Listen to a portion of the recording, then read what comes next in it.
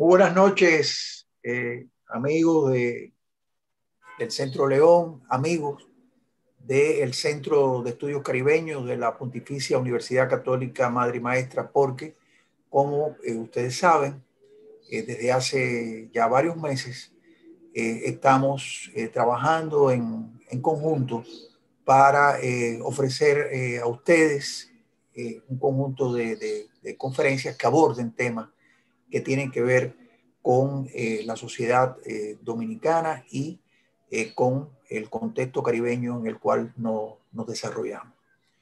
en la noche de hoy no podemos iniciar este, este encuentro sin antes hacer un recordatorio, un homenaje a la memoria de Marcio Veloz Magliolo, que nos abandonó el pasado, el pasado sábado. Eh, Marcio Veloz Magliolo lo reconocemos como uno de los intelectuales eh, más completos que nos ha dejado una, obra eh, diversa en diferentes campos de, de, estudio y que con su partida perdemos una, una posibilidad inmensa de seguir eh, beneficiando eh, nuestro conocimiento eh, con su investigación, con su maestría, con esa capacidad extraordinaria que tenía Marcio para, para comunicar.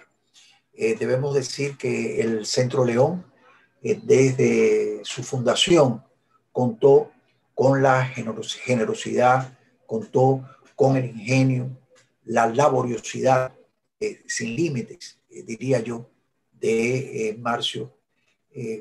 y esto está presente en, en, nuestra colección de, de arqueología que investigó, que curó, está presente en nuestra colección etnográfica que investigó, que curó, y está presente en esa sala emblemática del Centro León, que es Signos de Identidad, que también contó con eh, el intelecto, la, genialidad y la creatividad de, don Marcio. Así que eh, lamentamos profundamente su, partida, eh, le reiteramos a, su familia, le reiteramos a sus amigos, a sus colaboradores, eh, al pueblo dominicano nuestra condolencia por eh, la partida de, Marcio, que es una partida física, porque nos dejó su obra que estará siempre con nosotros y nos estará eh, brindando siempre el, recurso de, sus conocimientos. dicho esto, vamos a dar inicio ya de manera formal a el encuentro de esta noche, que es eh, una conferencia eh, sobre el origen y evolución de la arquitectura vernácula en la República Dominicana. Eh, para ello, contamos, y debo decir que también es un honor para este espacio conjunto del Centro León y del Centro de Estudios Caribeños de la Pontificia Universidad Católica Madre y Maestra, eh, contar con el conferencista de hoy, que es el, profesor arquitecto Esteban Prieto Vicioso. Como eh, eh, muchos conocemos, Esteban Prieto es arquitecto, es investigador, es profesor universitario de larga data, especializado en conservación arquitectónica en el Centro Internacional de Conservación en Roma.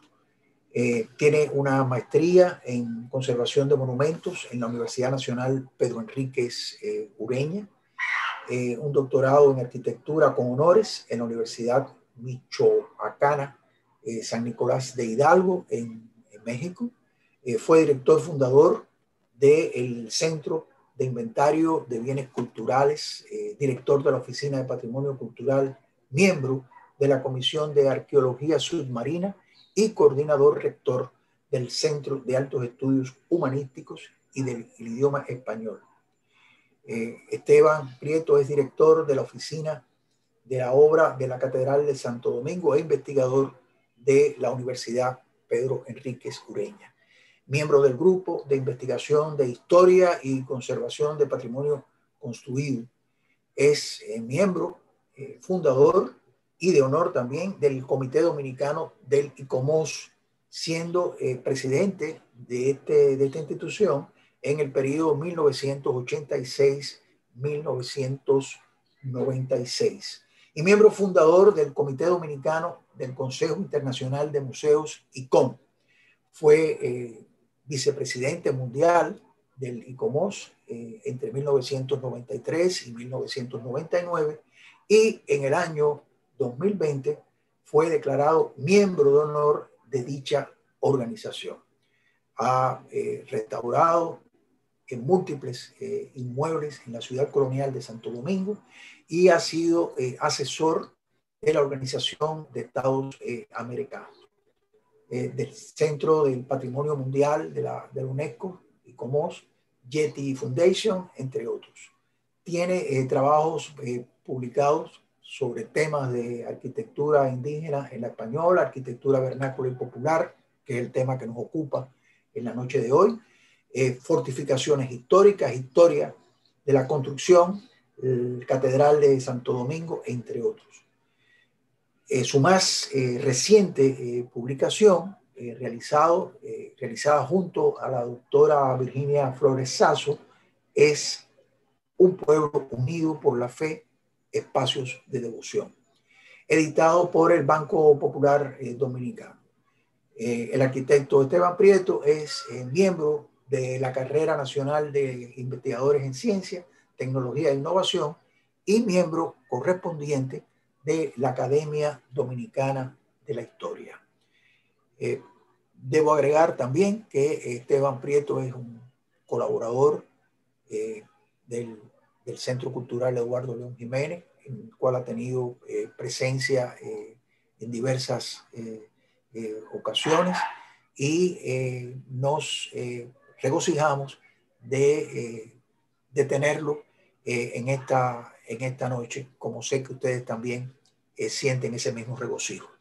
Eh, así que los dejo con el arquitecto Esteban Prieto. Debo recordar que estaremos conectados a través de, esta plataforma de, YouTube, a través de, nuestra plataforma en Facebook, en las cuales ustedes pueden hacer sus comentarios y presentar su, sus preguntas, porque al final de la conferencia el arquitecto Prieto tendrá la posibilidad de responder algunas de, ellas. Eh, yo las estaré en colaboración con el equipo de comunicaciones del, Centro León eh, recopilando y eh, la formularemos al, al, finalizar la, la, conferencia del arquitecto Esteban Prieto. arquitecto, ahora sí, usted tiene la palabra. Muchas gracias, buenas noches de todo agradecer la oportunidad que me han dado el, Centro de Estudios Caribeños de la Pucamaima, la doctora Muquien San Ben, Juan Francisco Zapata, el proyecto Connect World, dirigido por Consuelo Naranjo, del Consejo Superior de Investigaciones Científicas de España, al, Centro León, por supuesto, por darme, permitirme de nuevo ¿eh? expresar algunas criterios y opiniones a través de, este magnífico centro y al canal de, de YouTube de, de, la Pucamaima, que también está eh, pasando, transmitiendo este, esta conferencia. La, quisiera comenzar con la imagen que, es la, la, la, invitación, el afiche de, la, de, esta conferencia, porque no pudo hacer eh, eh, mejor, no pudo ser mejor elegida esta, esta imagen. Felicito a quien la seleccionó. Porque esa tremenda fotografía, además de, Domingo Batista, eh, expresa claramente lo que es la arquitectura vernácula dominicana. Ese es el resumen de todo lo que yo voy a decir hoy. Fíjense, eh, o sea, lo bien escogida ¿eh? que fue esta, esta fotografía.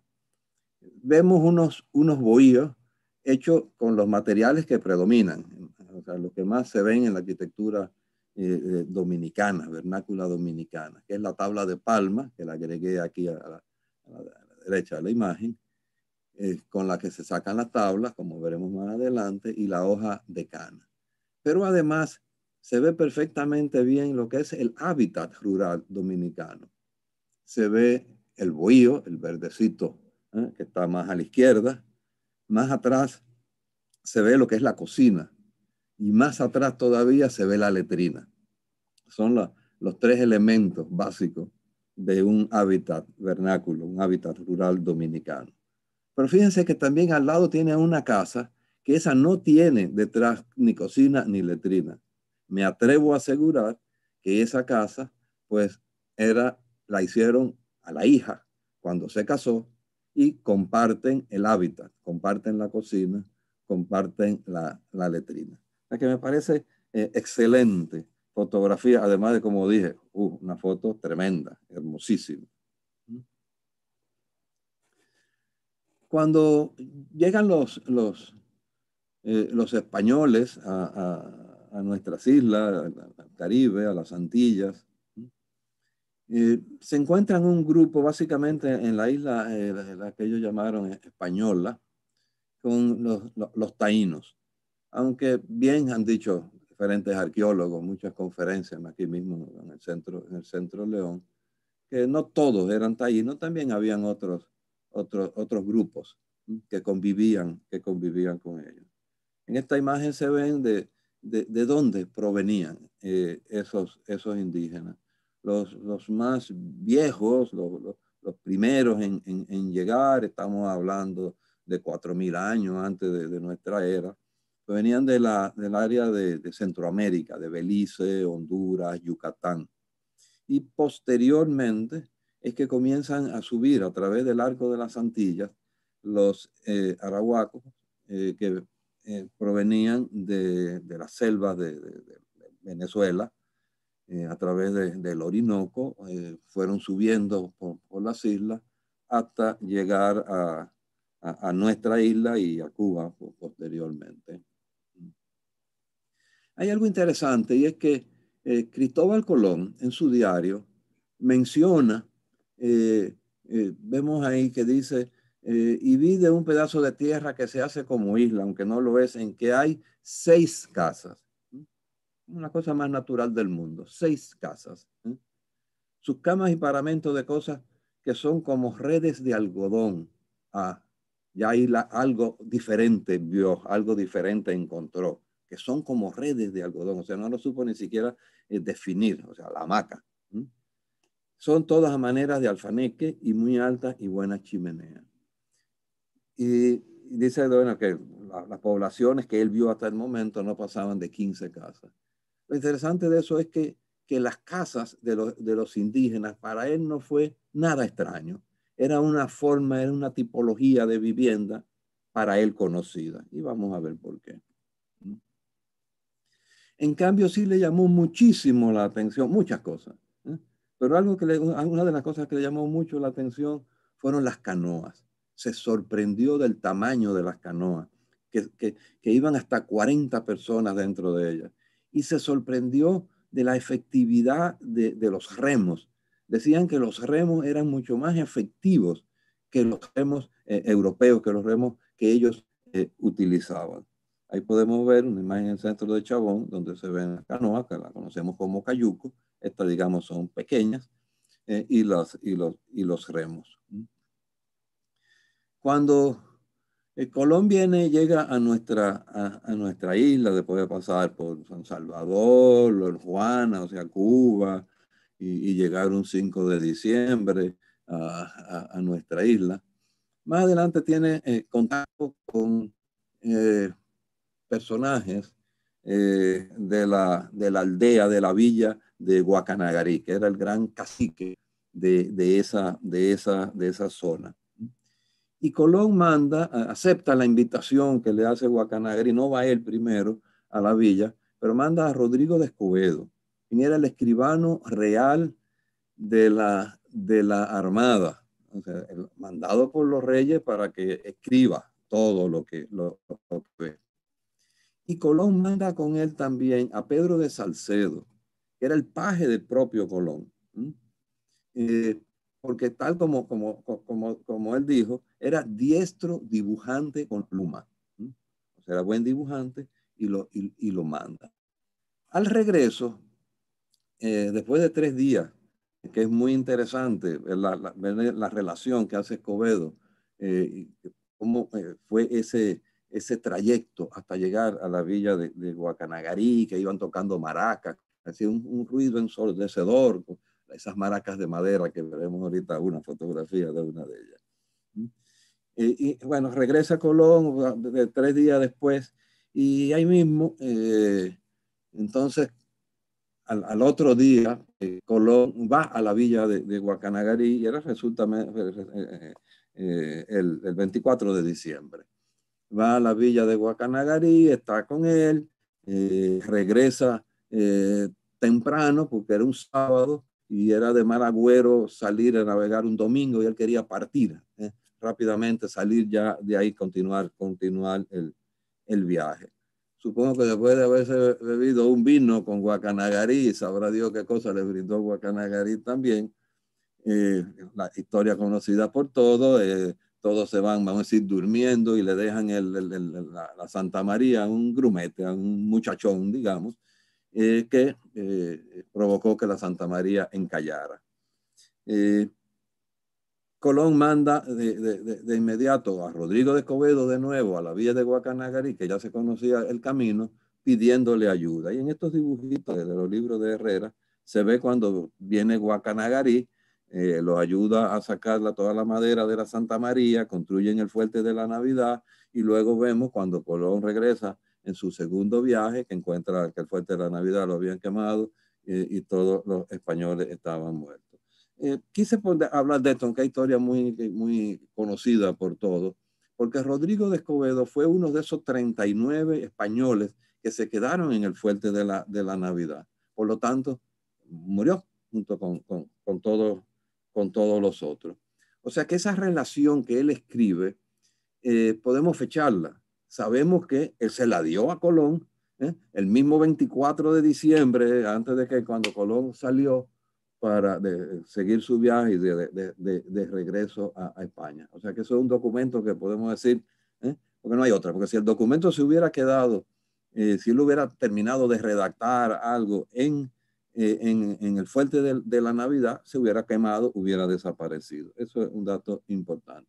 Y esta es la, una copia del manuscrito que escribe eh, Luis Joseph Peguero en Baní eh, en 1762, que es donde está esa desconocida ¿eh? por los historiadores en general relación de Escobedo. No voy a abundar demasiado en ella, pero en, dentro de la relación de, de, Escobedo, ahí, ahí, vemos la primera descripción que se hace de, del bohío eh, indígena, que normalmente se le atribuye y se menciona a González Fernández de Oviedo. Inclusive este dibujito que vemos ahí, lo vamos a ver varias veces más, se le atribuye, se dice el esquema del bohío de, de, de, de, González Fernández de Oviedo. No, ese dibujito fue hecho antes del 24 de diciembre de 1492 ¿eh? por Pedro de Salcedo, diestro en la pluma. Eh, ahí lo vemos eh, ampliado, tal como dice ahí, bujío. Hay otro error que muchos historiadores y eso dicen que bujío es el de planta circular y el, y el de planta rectangular es el, el caney. Creo que está muy, muy claro en este documento y en otros. El bohío es el de planta rectangular. Y aquí vemos el, el caney. Algo interesante ver, ante todo en el anterior, aquí, que se ve que estos son líneas, ¿eh? porque son, corresponde, son bejucos, no, no, no soga, que lo veremos eso como ya en el libro de, de Oviedo aparecen como soga, se ve que ya es una interpretación, que no, no, no es el, original. Ahí vemos el bejuco que todos, que todos conocemos. En, ese, en, en esa relación de, de Escobedo, está la, única descripción eh, con medidas eh, que hay de, de, de, bohíos, de construcciones eh, de la época del, del, del, contacto. Y ahí se puede ver claramente, además, que el palacio, como le llamaron ellos, el palacio del cacique Guacanagari es rectangular. Y todo lo otro, y la cocina, y la casa de guardia, y el templo, el templo es, es, cuadrado. Hago énfasis en esto también porque muchos eh, arqueólogos eh, han dicho, eh, ya ha sido corregido por, por varios autores, pero algunos todavía lo mantienen, de que la, los edificios, los bohíos de planta rectangular, ya es una influencia del contacto con los españoles. Dicen que, los indígenas no construían nada rectangular y, cuadrado. y bueno, es muy interesante porque realmente da muchos datos, con que el templo tiene cuatro puertas en cada uno de los, de, los, puntos cardinales, cada puerta tiene una función, por una puerta entra solo el cacique, por otra puerta entra un muerto si lo van como a velar ahí, etcétera, la casa de guardia que tenía una cárcel, la cocina que tenía 40 mujeres eh, haciendo la cocina de los caciques, porque el cacique había un cacique principal, pero había muchos caciques ¿eh? dentro de su cacicazgo, digamos y entonces explica cómo, cómo, cómo el uso de, que estaba dividido en tres, en donde se juntaban ellos, donde dormían, la parte de atrás donde, eh, donde dormían sus mujeres y un, y un depósito, eh, digamos. Bueno, eh, de eso también habría muchísimo que, que hablar. lo que, como dije, lo que más se menciona es González Fernández de Oviedo. y dice que los bohíos eh, indígena era a base de postes de madera que enterraban en el suelo a cierta distancia, coronados por durmientes, que soportaban los techos con sus cubiertas de hojas de palmeras, yagua o paja. ¿eh? Eh, no usar la hoja de cana, porque los españoles no conocían hoja de cana. Ellos techan con, paja, y son por eso que le llaman casas pajizas. Al final, la, imagen y, el resultado es el mismo porque la hoja de cana se va convirtiendo como en una paja eh, eh, también. Eh, dice también González Fernández de Oviedo, los bohíos de planta circular a lo que llaman canelles, o sea que está claro ahí también de que el circular es el caney, tenían además un grueso poste en el centro. Y vamos a ver algo de eso. Bien, estos son los dibujos que aparecen en, en, en la primera edición de González Fernández de Oviedo de 1535 que copia, copian los eh, dibujos eh, de, que hace Pedro de Salcedo, 35 eh, más 6, 41 años antes. 41 años antes. La, la diferencia que podemos notar es que aquí aparecen unas sogas, pero mantiene, inclusive mantiene la, el error de, de perspectiva en que está dibujado esto. Porque cosa que se ha interpretado como que a cuatro aguas, pero no, esto es a dos aguas. Pero fíjense cómo él, él, tiene abierto como hacia el frente. Él, lo que es el frente, la fachada de, de la casa, lo colocó eh, aquí de lado. Eh, pero la casa está en las descripciones claramente de que eran eh, a dos aguas. Y aquí vemos una, una evolución de, ese croquis eh, que, como digo, llaman, atribuyen a, González Fernández de Oviedo. En el centro, el de 1492 de Pedro de Salcedo, y aquí vamos desde 1535, en la primera edición de Oviedo, a eh, la edición, aparece ya en la edición de, de, de 1851 y otra de 1900 tanto, veremos ahora bien la fecha. Fíjense cómo, cómo cambia, pero eso vamos a ver, eso lo vamos a ver más en detalle. Y es este. ¿eh? Esta versión, que es la que más se ve, porque es, la, es, la, la edición de González Fernández de Oviedo que encontramos en todas nuestras bibliotecas, porque no tenemos las ediciones antiguas. Eh, las ediciones antiguas hay que irlas a buscar eh, en, en, España. La, la, y la de 35 está en la Biblioteca Nacional de España, de 1535. Eh, a menos que, se consulte alguna copia facsímil. Pero eh, lo que más se ve son eh, las ediciones de 1851 eh, de José Amador de los Ríos y la, la, que más se usa es la de Pérez de Tudela de 1959. Entonces no sé si han notado que esta aparecen dos ventanas en vez de una. Y entonces al, arreglar la perspectiva, interpretarla como yo digo, mal interpretarlo, lo dibujan como cuatro aguas. Es una pena que esto sigue apareciendo en publicaciones recientes, en publicaciones bien recientes de arqueólogos, de, historiadores, como el esquema de, de, González Fernández de Oviedo. O sea, no se puede decir que eso es de Oviedo, eso es de Juan Pérez de Tudela, eso es de dibujos realmente de F. Kraus, que quien fue quien, quien dibujó eso, no se le puede atribuir a, a González Fernández de Oviedo. Lo mismo sucede con muchos dibujos más como la hamaca.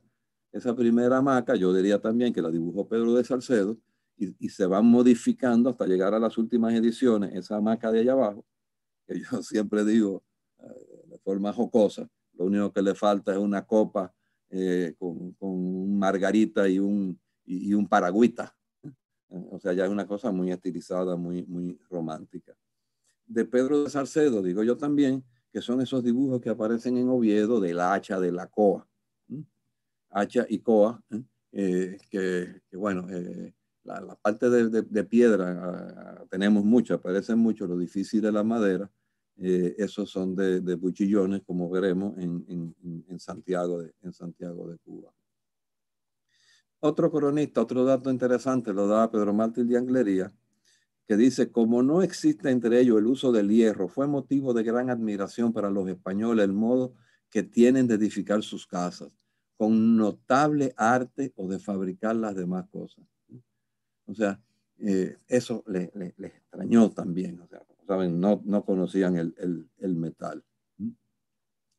Eh, aquí eh, en el Museo de, del, del, Hombre, esta fue una ocasión que vino la doctora Raquel Carrera de Cuba a dar unos cursos aquí.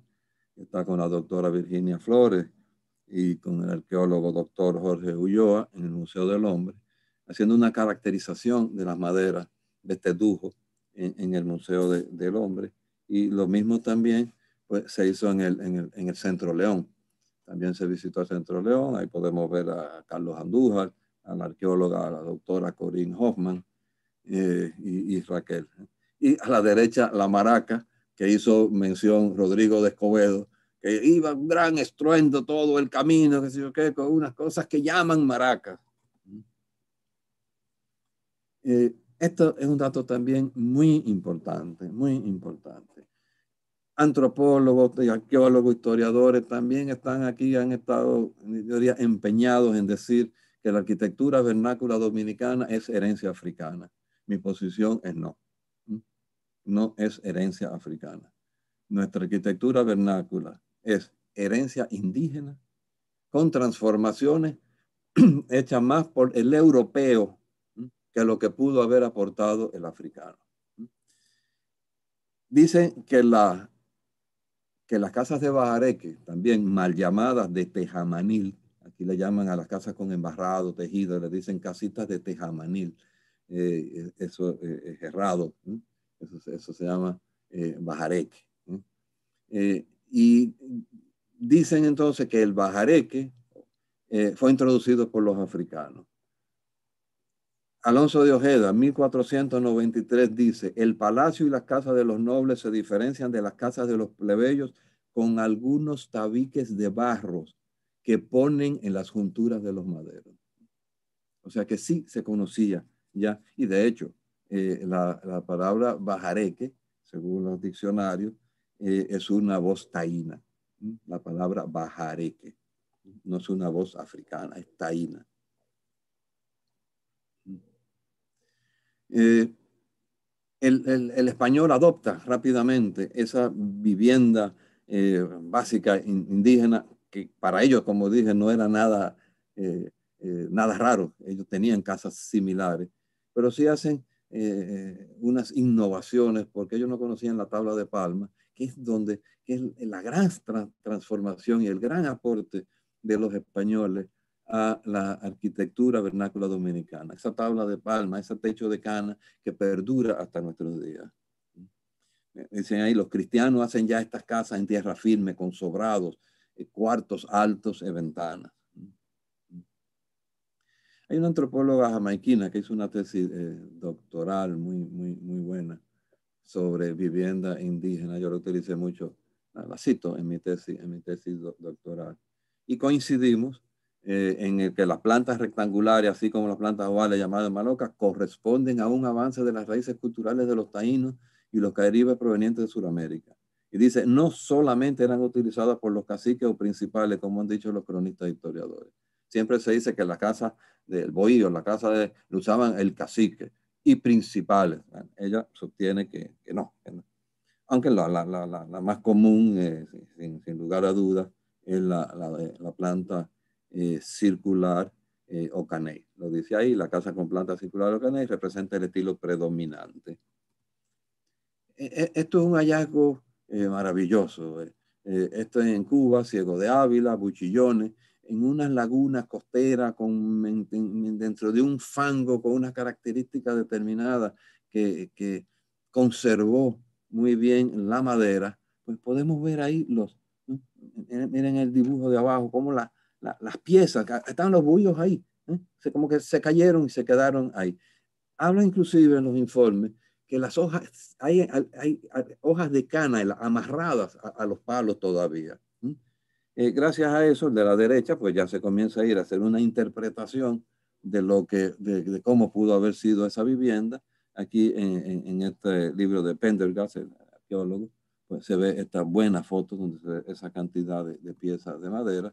Y los arqueólogos Calvera y Jardines, pues hacen esta interpretación que coincide con, los datos que da González Fernández de Oviedo, que menciona el poste eh, central. Eh, algo interesante es que en la, en, la, arqueología que hemos hecho aquí, que se ha hecho aquí, como veremos más adelante, eh, no aparece ese poste central. Hay, hay, son, son otra tipología. bueno, pues Buchillones se gana el premio con piezas de madera indígenas porque pues, consiguieron ahí cantidad, cantidad de piezas de madera. E, esto es un libro de Bjorn Armstrong, un libro que se llama Colón, un libro sobre Colón. Hace esta interpretación que él dice ahí, que, eh, que sacó la información de González Fernández de Oviedo de, la edición de 1547. Eh, pues se ve la casa con, con, el poste central, pero una muy buena interpretación, las alturas, las proporciones me parecen realmente muy adecuadas. Eh, lo que sí usa la, tiene dibujado Oviedo la hoja de, de Bijao, que por lo menos ha desaparecido. Yo no, no conozco ninguna bohío dominicano, ni tengo ninguna referencia que no sea la que da Oviedo de que utilizaban la hoja de Bijao para cubrir las casas. En el último libro de, de, Manuel García Arevalo, eh, Los Taínos, él hace esta interpretación también de, de en este caso, de un, de un caney, eh, Caney se le llama a, la circular, pero todos son bohíos. O sea que cuando uno, uno, puede decir un bohío y puede ser el bohío rectangular o circular, pero el de planta circular le llamaban específicamente caney. Y por aquí se ve durante un rito de la, de la, de la cojoba, se ve eh, a la derecha ahí como viene agachado, porque las puertas eran bien bajitas, tenían que agacharse para, para entrar y como, y como dije, vemos el poste central. La Universidad de Leiden ha, hecho grandes aportes a la arqueología eh, dominicana, de toda la, indígena. Eh, Centro León ha habido muchas conferencias de la doctora Corinne Hoffman. Eh, y una de las personas que vino a trabajar con, con, con, la Universidad de Leiden fue Alice Sampson, quien entonces utiliza esos datos y hace su tesis doctoral eh, analizando los resultados de la... Y vemos cómo ahí se ven claramente todos esos círculos eh, de las viviendas. Eh, algo interesante de cómo se superponen. Bueno, eso es otra historia, eh, porque destruían la casa y construían otra, pero no la podían hacer justo arriba.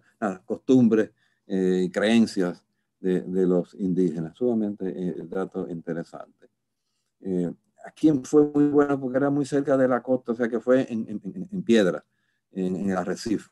O sea que estaban muy claros. No lo mismo cuando es arena que lo que vemos en un puntico marrón eh, pero no, en este caso, como te digo bien. Y vemos que hay una estructura central y un círculo todo alrededor, y ese es lo, del, círculo exterior, los huecos estaban un poco inclinados hacia adentro. Es un dato sumamente interesante y vamos a ver por qué.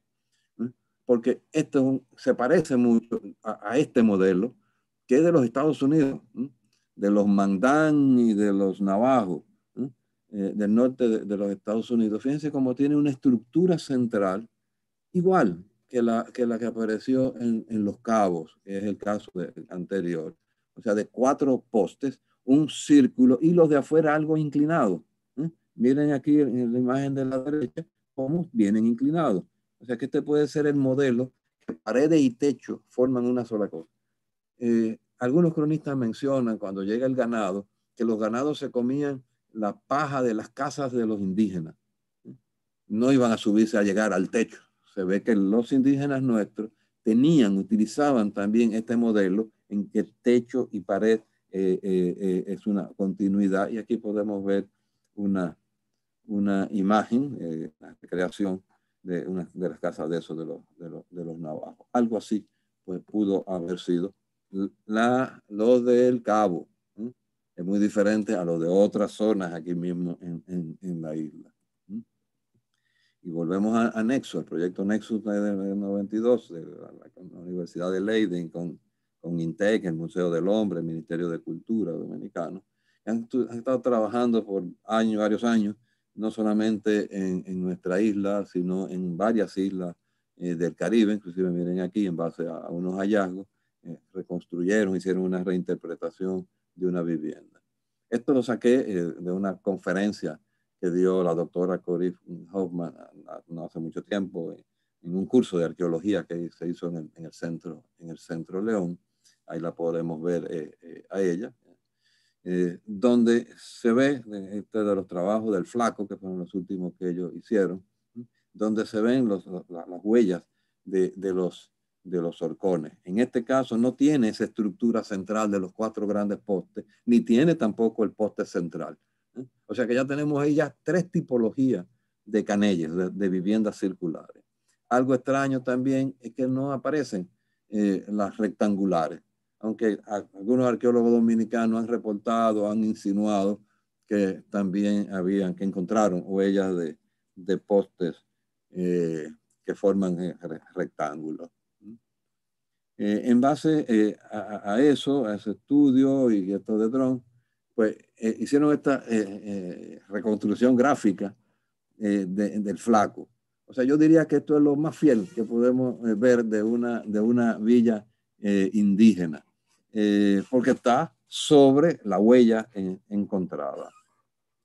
el resultado de eso se hizo una, una exposición al, final del proyecto en el Centro León, podemos ver ahí abajo, eh, con además muy, muy, muy buen diseño, muy interesante, desarmable, eh, eh, donde se puso algo de, la, de los resultados de, de, la, de la exposición. Aquí en, en, República Dominicana, en el Jardín Botánico, se hizo lo que llama el sendero educativo, donde se hizo una interpretación de un bohío y dos canelles, no en la posición en que debería de ir. Esto es en base al dibujo que le presenté de, la villa del Palacio de Guacanagari. O sea, aquí se, e, esto es una interpretación de la villa de Guacanagari. Y esto de dos canelles, aunque nunca, no, estaban eh, tan ligados a la casa eh, del cacique pero ese es el, tamaño, unos 35 metros de largo tenía más o menos, y, aquí lo vemos. Eso es, de acuerdo a Rodrigo de Escobedo, eh, eh, eso es la, un bohío, donde vivía un, un, cacique, amarrado con, con bejuco. Eh, ya me hicieron vamos, el tiempo y todavía no hemos visto la arquitectura vernácula dominicana, sino los orígenes. Eh, esto es de los eh, Yanomami en Venezuela, una foto, pues, digamos, reciente, no, es antigua, donde se ven las construcciones de plantas cuadradas. Eh, esto en Venezuela, una, una interpretación de los, de los canelles, eh, los palos parados, o sea, muy bien, muy parecido al que hicimos aquí en el, en, el botánico, nosotros le dimos un poco más de, un poco más de altura al, eh, al techo. Y esto es una pésima interpretación, porque como dije, lo primero, que ese dibujo no se le puede atribuir, no se puede decir que es de González Fernández de Oviedo. Y venir de ahí, entonces, eh, eh, salió esa cuatro aguas, y entonces dibujarlo a cuatro aguas, dibujarle las dos ventanas, que no me digan a mí, eso es el, el, el, esquema de González Fernández de Oviedo. Y esa puerta tan alta cuando la puerta era completamente bajita. ¿Eh? Aquí lo vemos. Esas son, yo diría, muy malas interpretaciones. Esa es nuestra interpretación eh, con los datos sacados de, de, nuestra tesis doctoral, con todas las investigaciones que pudimos eh, eh, hacer. Dije que para los españoles no eran extrañas. Estas son casas españolas. Las de abajo, eh, miren, son de, de palos parados, igual, de planta cuadrada y lo de arriba planta circular con su techo de, de paja. ¿eh? Y ahí vemos otros. ¿eh? O sea, eso era, eh, mira, esta, esta, es una foto de 1900. O sea, eso era lo que, lo que Colón y todos ellos veían en España. O sea, que por eso él, él, dice, y vimos seis casas, porque vieron seis casas iguales que esta. Esto tiene, es una interpretación de una villa celta de, de algunos 3, 4 mil años antes de, de, nuestra era, y vemos como hay plantas circulares, plantas rectangulares, plantas oblongas, y vemos inclusive una casa arriba ahí eh, que tiene gran similitud con nuestra arquitectura actual eh, rural. Esto es un dato interesante, esto es en la ciudad colonial, unas eh, excavaciones que hizo el arqueólogo Pierre Denis justo detrás, detrás de la catedral, se iba a hacer el, el edificio de, de, la casa del, del arzobispo, eh, se hizo arqueología y aparecieron postes eh, ahí donde él hizo esta interpretación. Eso de la, de, de la, aldea indígena que había en la ciudad de Santo Domingo. Y, y aquí vemos la, la, herencia indígena. Ya no planta circular, la planta circular desapareció y desapareció con los españoles. Eh, aunque fíjense que ellos o sea, tenían la planta circular también. Pero cuando ellos comienzan a utilizar aquí tablas y a clavarlas, ¿eh? entonces ya no le funciona el circular. Para, para, hacer algo circular tiene que ser con palos parados, pero si van a poner palas horizontales, tablas solapadas una con otra para que no entre el agua, entonces tiene que recurrir a la forma eh, rectangular. Y ahí vemos un, un, caso en Estebanía, la casa a mano izquierda, a la derecha la, la, la, la cocina. Eh, esa es la planta típica eh, de los bollos dominicanos. Eh, dos espacios, los pequeños, dos espacios, uno para dormir, otro eh, supuestamente sala, aunque ahí no hacen nada. Hay, hay una mesita, hay una tinaja, eh, están sus su santos, su cuadro, su almanaque viejo, su almanaque aunque sea viejo. Bueno, pero eh, eh, vemos que es la, la, la, la misma planta y, y, vemos ahí eh, diferentes ejemplos. Claro, cuando están bien deteriorados, bien tal cosa, se ve como una casa bien pobre. Pero miren esta de aquí abajo, bien terminada, ya con su piso inclusive de cemento, eh, eso es una casa eh, perfecta, eh, una casa muy digna para vivir, eso no es un, un, una choza, es una casa. Eh, vemos aquí estas imágenes en, Puerto Plata, donde se ven construcciones de palo parado. se usa más, todavía lo vemos, pero básicamente en, en, cocina. Pero esa misma arquitectura la vemos en México donde no podemos decir también que es influencia eh, africana. Eh, estos son casas mayas. Eh, el tiempo. o sea que vemos, y lo, vemos en Panamá, la, los palos parados, todo esto es la, la, herencia directa indígena. Lo vemos en Nicaragua, lo vemos en México, el de la derecha en, en Venezuela, y hasta la artesanía vemos un indígena eh, venezolano y esa señora en Estebanía precisamente eh, haciendo, tejiendo una teja, eh, haciendo lo mismo. Como dije, los españoles llegan, co comienzan a construir la Isabela y adoptan eh, esa tecnología y esos materiales utilizados por los, por los españoles. estos son los cuatro tipos básicos que se utilizan en, la, en, la, en las paredes del bohío dominicano eh, los verticales, la herencia indígena pura, eh, el, el, bajareque, los constructores de Stonehenge en Inglaterra, eh, 5.000 años antes de nuestra era, sus casas eran de bajareque. Eh, tablas de palma, innovación caribeña. No he visto en ningún otro continente eh, y en ninguna parte de América que no sea el Gran Caribe, el Caribe y, gran, y algo de Gran Caribe, no he visto la tabla de palma. No he encontrado un caso de tabla de palma en, en, en, en África, ni en Europa, en España. ¿eh? O sea, es, e, es algo que el, que el, español, un material que el español descubre aquí, veremos por qué. Y la costanera, que es la parte más de afuera de, de los troncos, que últimamente se está utilizando mucho, cada vez más, se, se utiliza desde, desde, el siglo XIX, desde comienza, yo diría que desde comienza la industrialización pero mucho más porque se está penalizando mucho el corte de la, de la, palma, de la palma real. Entonces vemos lo, los techos de esas casas, que como habíamos dicho, o son de cana, como vemos ahí, o son de yagua, ¿eh? que es la parte que cubre el, el palmito. ¿eh?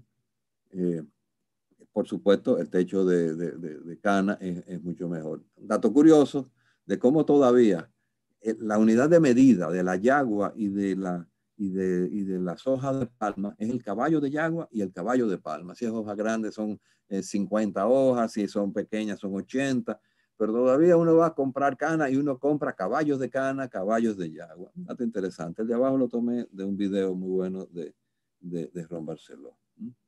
Y esto es, esto es lo que se llama tejamaní, no las casas de, eh, con el embarrado tejida, eso es bareque Tejamaní es shingle, es tablitas de madera, que antes lo veíamos mucho en, en, en, la zona montañosa de Constanza. Vemos ahí esa fotografía que cogí prestada del libro de Diógenes Valdés, ¿eh? que se ve eh, ahí eh, tablitas de madera. Y la de la derecha, modernas, tablas de que posiblemente la trajeron de fuera, cuando aquí éramos grandes exportadores de, de, de tejamaní, esa en casa de campo lo vi.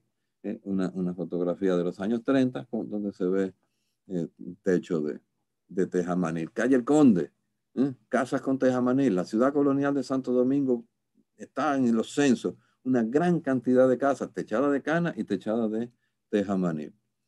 Bajaré que se repite la planta, el mismo, fíjense, el mismo tipo de planta, un espacio con dos camas normalmente, un dos sillitas, la tinaja, etcétera, pero eh, la, la, la, la, planta se, se, se, repite. Ahí tenemos el detalle de Bajaré que, que ha perdido el, el, embarrado. Por supuesto, como esto es buscar palito, unirlo, coger tierra qué sé yo qué, pues es, es la, la, primera tipo materiales de arquitectura que le echa mano una persona, una persona pobre que no tiene, ¿verdad?, con qué hacer su vivienda. Pero miren lo que se logra con, una, con un bajareque. ¿eh?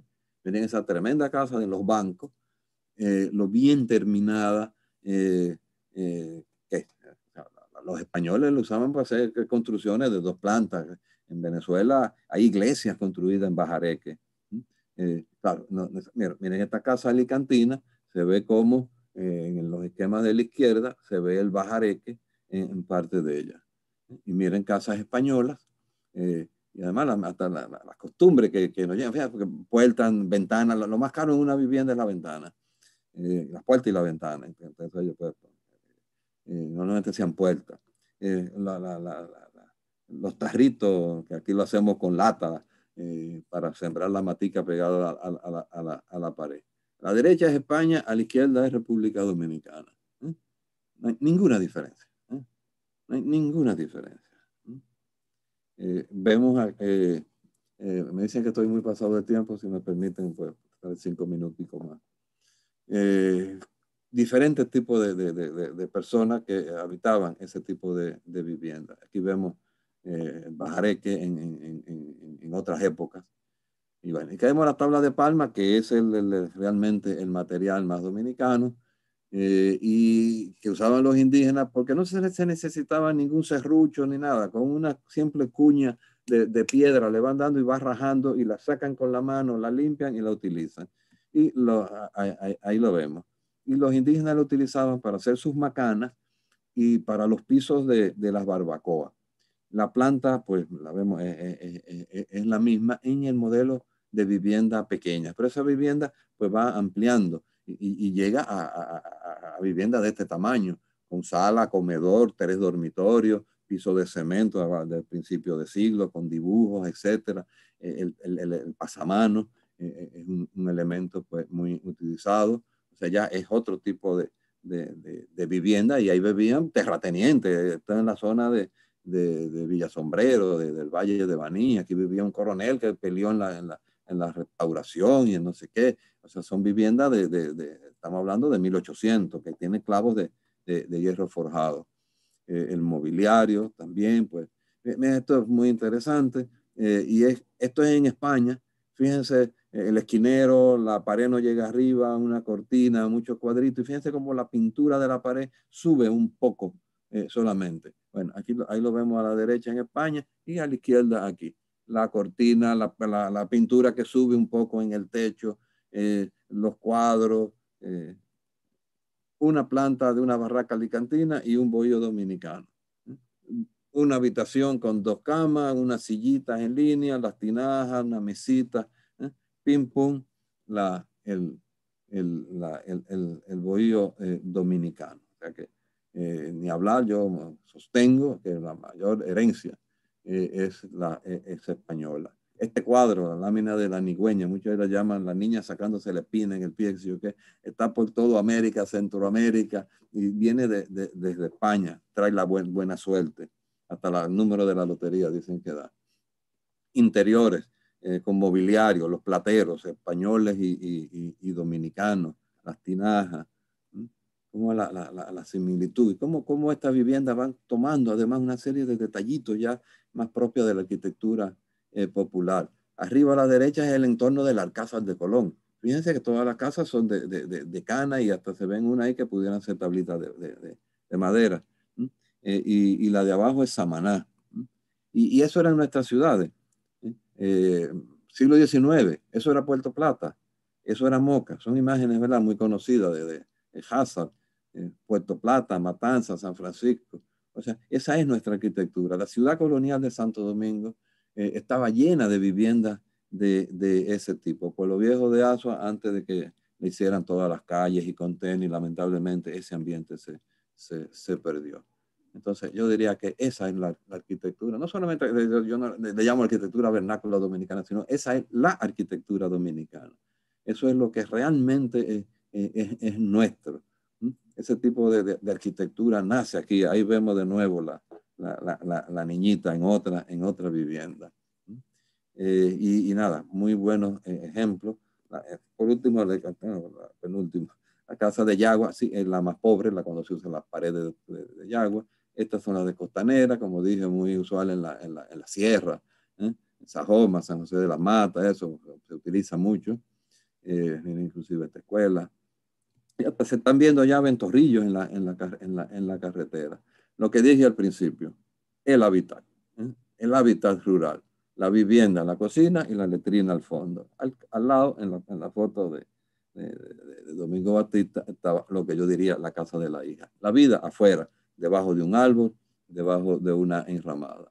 Ya para terminar, algo importante, todo un mensaje a las universidades y eso, que hay que promover eh, la, eh, los materiales vernáculos y, enseñar su, su, utilización. Esto es un convite, un trabajo, el resultado de, de, de, de un curso en la, en, la, en, la, Pucamaima, en que vamos y, y hacemos eh, los tres tipos, en este caso tres, no, no, hicimos costanera, el bajareque, tabla de palma, con la boñiga, o sea, excremento de vaca, con tierra, ellos todos la amasan, ellos la, aplican.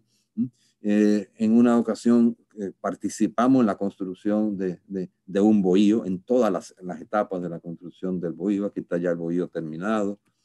Eh, se hacen viajes de estudio a, diferentes partes de, del país. Eso es una casa de, de 1800 tanto también.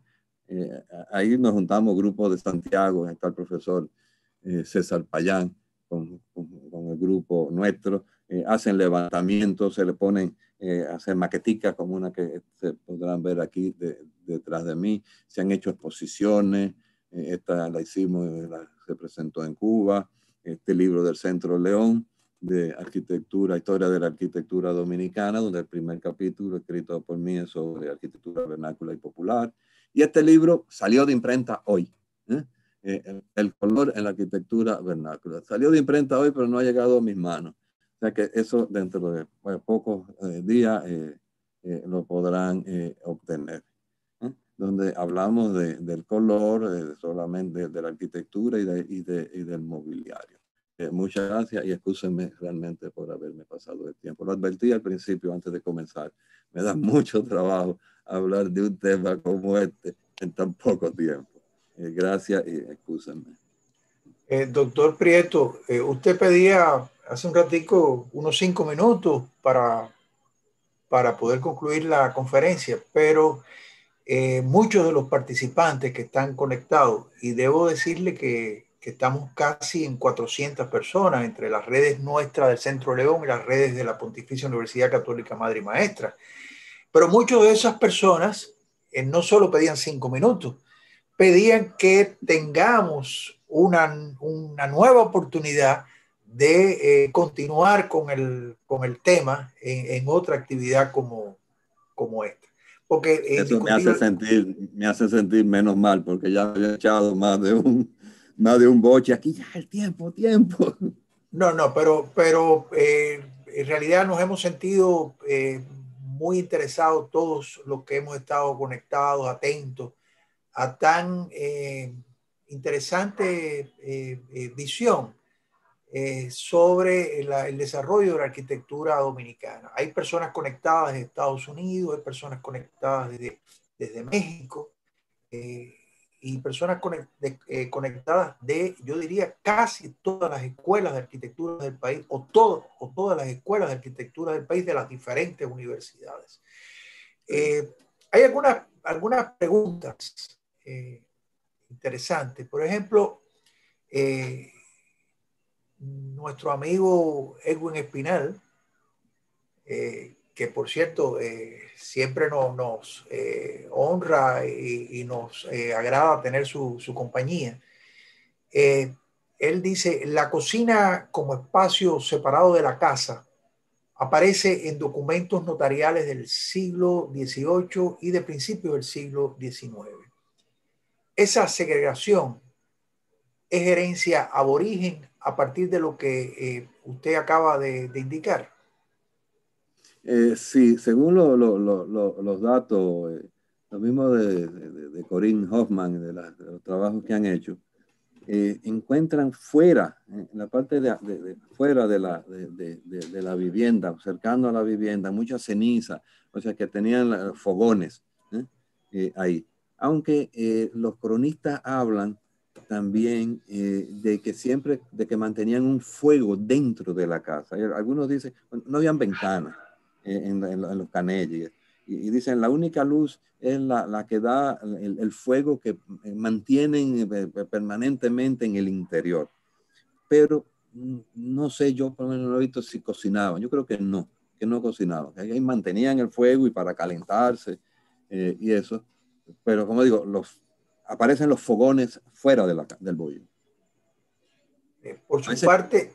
A veces con un eh, murito, con una pared de protección del viento. En zonas que hay mucho viento, entonces le ponen una pared para que no le apague el fuego del fogón. Sí, pero en las casas eh, tradicionales de, de, nuestros campos en el, en el, Caribe es muy usual el, la cocina, aparte de la vivienda. Claro. Eh, incluso eh, ese rancho donde está la cocina se, se, convierte también en un lugar de socialización eh, familiar que está independiente de la casa. Y eso, eso desde el punto de vista sociológico es interesante, es el lugar de encuentro. En el sur, por la, la, zona en el Valle de Baní, le llaman la despensa pues tiene cocina y tiene una pequeña habitación que sirve de despensa, pero en esa despensa duerme el, hijo más grande, eh, ya cuando no caben bien adentro va a dormir ahí, o, un invitado también duerme ahí, o duerme en la enramada.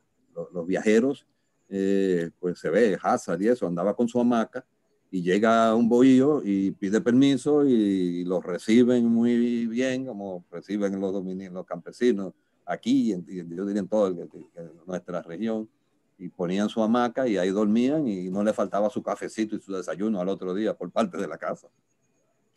Eh, hay una pregunta interesante que hace el, arquitecto César Payán, eh, que también es un, un asiduo eh, visitante a, a, nuestro, a nuestros espacios. César Payán. Sí, sí, sí lo es. César pregunta, ¿qué región del país posee mayor cantidad de tipologías en variedad del bohío dominicano?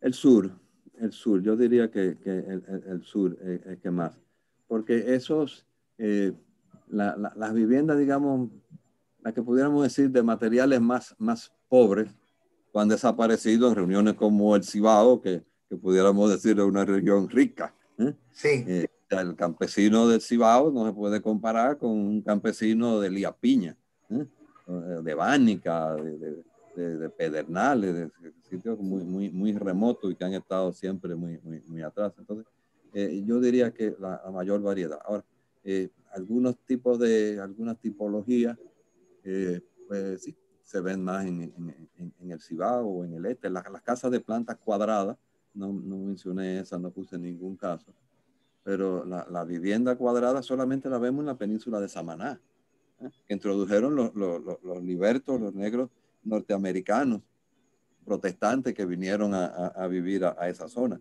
No vemos casas cuadradas en ninguna otra parte de la... ¿eh? Podrá encontrar una, ¿eh? pero no. Eh, y hay otro modelo de casa ya un poco más tendiendo a la, vivienda popular que tiene un juego de techo muy interesante también, es propio de, propio de Samaná. Hay algunas zonas, la zona de Arenoso, esas zonas arroceras, que las casas son, el, y la mismo Samaná, que las casas son elevadas con piso de madera, las separan un poco de, del piso, 30, 40 centímetros del piso, porque, hay eh, agua, que, mucha lluvia, o hay crecidas de ríos cerca, etcétera. Eh, o sea que una tipología única también de una zona, eh, barrera, botán, pedernales, y hay casas de 12 puertas. Así le llaman, bohíos de 12 puertas. Bohíos de este tamaño, no es que una, una casa enorme. Y eso solamente se ve en esa zona. Sí, ahí eh, Elvis Tejeda eh, hace una, hay una pregunta que eh, entiendo que tiene que ver con, con, con la, la comunicación la transmisión de estos conocimientos en, en, eh, en la formación de los, de los, estudiantes de arquitectura, me parece. Eh, Elvis Tejeda pregunta eh, cómo usted eh, propondría introducir la utilización de, estos, de estas materias para las futuras generaciones, entiendo las futuras generaciones de, de, de arquitectos, aunque en realidad el, el, conocer eh, sobre eh, nuestra arquitectura vernácula no es solo de interés de los arquitectos, es también de interés de otras disciplinas, como la, la antropología, la, la sociología, la historia, incluso esta, esta comprensión de la vivienda vernácula ayudaría muchísimo, y esto es un, es una consideración mía, a la, planificación y la ejecución de las viviendas populares en pos de resolver eh, el problema eh, de la vivienda que tienen nuestros países. Yo soy y otros eh, de la opinión Carimos, de la Organización del Gran Caribe para los Monumentos y Sitios, en un grupo de trabajo sobre arquitectura vernácula, somos de opinión que por ahí que está la solución del problema de vivienda de nuestra región. Eh, pero ¿qué sucede ahora mismo? ¿Qué está pasando? Fíjate como yo mencioné, ah, ya no, no pueden usar la tabla de palma. ¿eh? Eh, está penalizado. Bueno, ok. Pero si se hacen grandes viveros de palma real y si se hacen grandes viveros eh, con de, de, de, de, la palma cana y se le va a manejar a, cooperativas y se trabaja ahí en, en, en convites, usted puede sacar sus materiales ahí de cada tanto tiempo, etcétera, etcétera podemos hacer casas tan dignas como esa que vimos ahí ¿eh? y en poco tiempo. Eh, hay una, una, una, relación muy interesante. Esta es de una casa maya eh, en, en, México, de un viajero, siglo XIX, en que narra cómo en dos días, en dos días se hace una casa. ¿eh? Con convite, con la participación. Dice, en la mañana salen y buscan los palos, pero ya no hay tierra de nadie. Ya uno no puede, una familia no puede salir, ah, ve, ve, ve a buscar palos, ve a buscar hojas de cana. ¿Cómo que a buscar hojas de cana? Las hojas de cana tienen dueño. ¿eh? y, la venden para los hoteles que están haciendo. Pero si hubiera unos viveros organizados por el, por el, por el gobierno, por el Estado, y, como, como, digo, y con, con cooperativas, de ahí pueden salir los materiales. Eh, los, los, los, mayas, y supongo que aquí también lo, hacían, cuando una, eh, la hija se casaba y le hacían su, su, casa, le sembraban también una eh, o dos palmas de, de, cana porque a los ocho años ya estaba dando hoja y eso es el tiempo que se requiere para uno recobijar su bohío. ¿eh? O sea, que, es algo que, que, da la, nos da la naturaleza. Son los nidos que hacen los pajaritos. Los pajaritos no los compran ni tienen que esperar que venga el a hacerle sus, nidos. ¿eh? Los pajaritos hacen los nidos. Y nosotros aprendimos de los pajaritos a hacer nidos. ¿eh? El bajaré que no es más que un nido. Son palitos trenzados. Y vimos a unos pajaritos que le ponen barro además ¿eh? Y nosotros hemos ido copiando eso. Y, es interesante porque también en, Europa... Te decía que las clases en la, eh, en la, Pucamaima eh, se imparte la clase de arquitectura vernácula desde hace años. En Santiago lo da el arquitecto César Payán, aquí lo estoy dando yo. Y hace años yo la inicié esa materia en la, en la, en la Universidad Nacional Pedro Enrique Jureña, la di por muchos años allá. Estamos hablando de los años, yo, creo que fueron 82, 83, se inició a dar clases de arquitectura vernácula allá. Eh, en, la UMPU dan, sí, tocan el tema, aunque la materia no se llama arquitectura vernácula. Eh, yo quería preguntarle, y ya esto es una, una curiosidad eh, que tengo personal. Eh, en el caso de los canelles, que tienen esa, eh, esa construcción circular, eso eh, tiene que ver con, con los huracanes, es decir, con, con el impacto de, los de, los de los huracanes, porque si de algo debemos aprender de, los de, de, nuestros primeros pobladores es esa, esa manera inteligente eh, de, y, genial de eh, afrontar esas eh, inclemencias del, tiempo. Yo creo que sí. y los cronistas españoles también lo consideraron y dijeron que soportan mucho mejor los huracanes que la casa hecha por ellos, por la forma y por el método constructivo, por no utilizar clavazón, por no tener clavos, sino que está todo amarrado una casa con clavos eh, y un techo igual que si los clavan, como están aquí clavando los techos de, cana cuando lo hacen mal hecho, no amarrados, un huracán se lo lleva y revienta las tablas y se las lleva. Amarrada, la casa baila con el huracán. Tiene que ser muy fuerte para que lo tumbe. Lo que más tumba los bohíos, lo vemos a nivel rural, eh, con los huracanes, son las crecidas de los bohíos. Eso sí que no lo, no lo soporta ninguna casa, ni de hormigón, ni, ni de eso pero los huracanes lo soportan muy bien. Además, vemos cómo los campesinos dominicanos, que ya no usan la planta circular, eh, cuando vienen, saben que viene un huracán, amarran sus casas. Las amarran, las amarran de los árboles, eh, eh, cosas en, en, el piso y amarran sus casas para que la casa, eso, se mueva con el huracán y no se vaya. Wellington Pimentel nos pregunta qué medidas se, se toman para proteger, eh, o se pueden tomar para proteger la arquitectura vernácula dominicana, en su opinión, eh, doctor este, Esteban Prietos? Sí, mira, eh, lo, de la protección, eso no hablamos, no hemos hablado mucho, es, es, difícil por un lado, porque no podemos realmente, el gobierno no puede ir a un poblado y decir, mire, usted tiene que mantener su casa tal como, tal como está y, me le tiene que dejar el piso de tierra y el techo de cana y etcétera, etcétera, etcétera, cuando eso no es lo que quiere la gente. ¿eh? La gente feliz y contenta, se pone contentísimo cuando ve que viene un camión del gobierno lleno de, de planchas de zinc. Eh, eso normalmente años antes, meses antes de las elecciones, llega un camión a un pueblo y le quitan todos los techos de cana y la gente, venga a mi casa, venga a mi casa, y le ponen techo de zinc nuevecito. ¿eh? Están haciendo un daño, un mal, pero la gente está contenta porque eso es lo que ellos quieren. ¿eh? Eso es estatus. ¿Qué podemos hacer? Darle facilidades.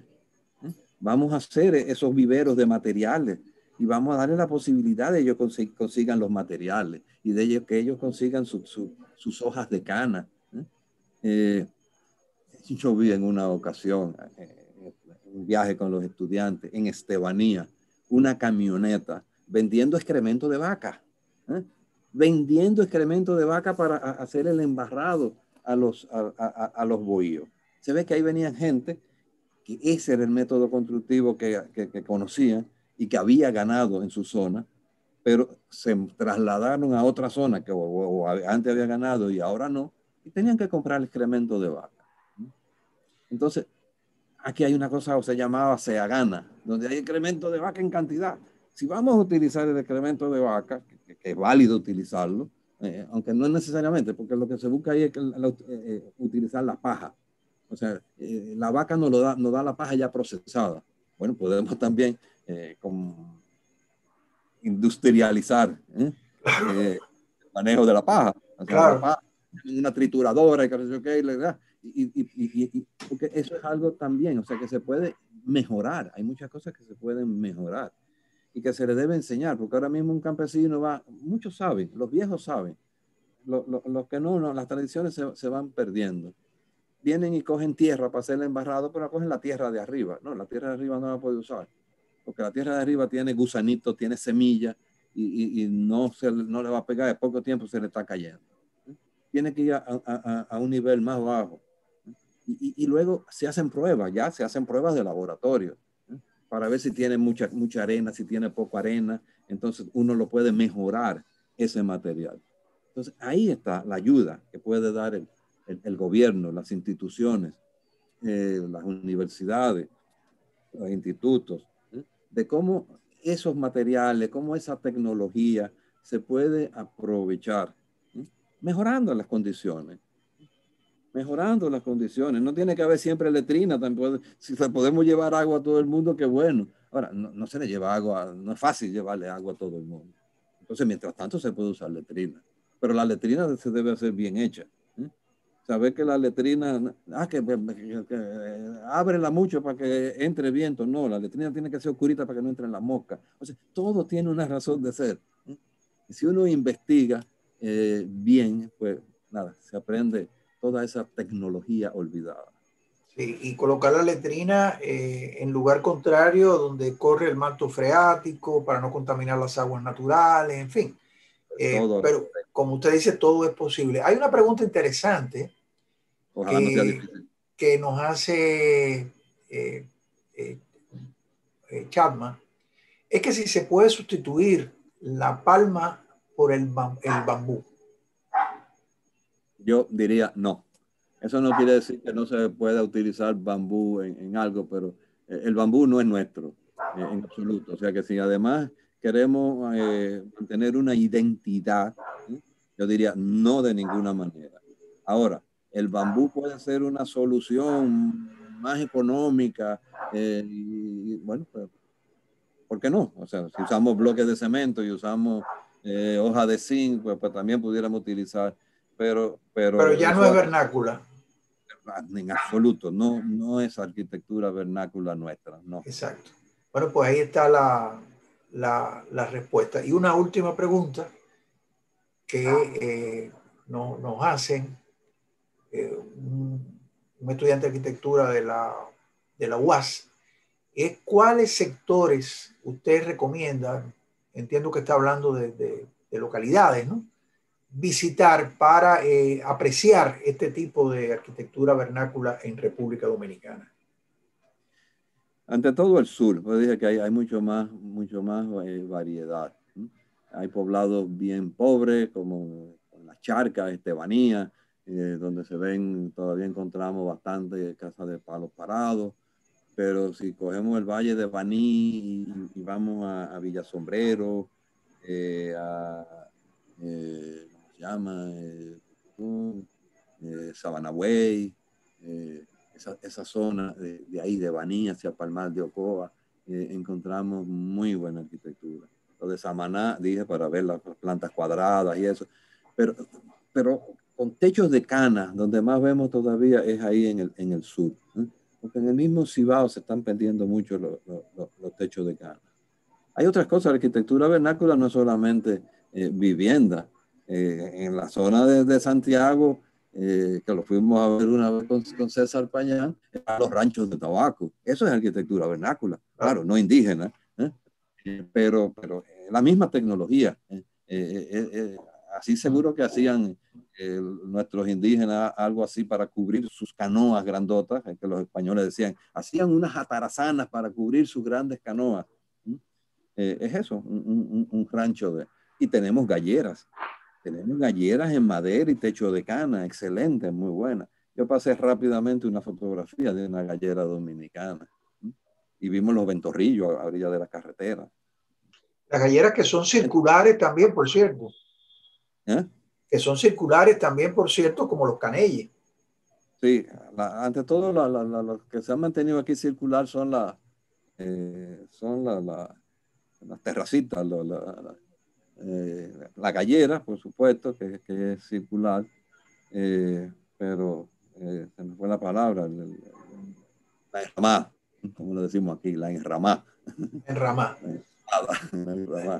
Esas son siempre circulares, o normalmente son, son circulares. Así es. Yo les digo mucho a, a mis estudiantes de, de, arquitectura vernácula, les digo, mira, la clase se acaba mañana, pero por favor, ahora que ya ustedes van a ir, por cuando vayan en el carro, no van a ir oyendo música y todo el tiempo, sino que van a ir viendo y descubriendo cosas.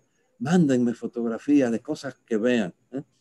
Esos eh, ventorrillos de carretera me lo mandaron estudiantes y así me han mandado, mire, profe, encontré esta casa con esto, con lo otro. Mire, profe, cómo aquí recogen, el agua del techo, mire.